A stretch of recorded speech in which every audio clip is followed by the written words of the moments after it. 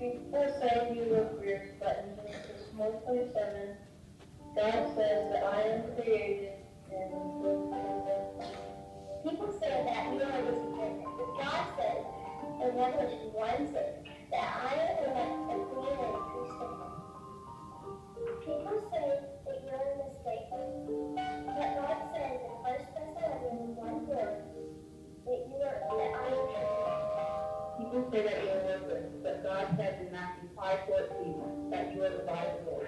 Say you're not good enough. But God says in 2 Peter 1 3 that you have been given all things You have a godly life. People say you can't do anything right. But God says in Romans 8 37 that I am more than a conqueror. People say you're weak, but God says in 1 Corinthians 1 8 that I'm being strong and blameless in it.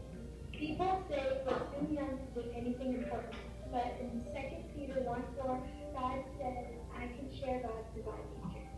People say that God doesn't care about you, but God says in 1 John 3 1 that God loves foundation.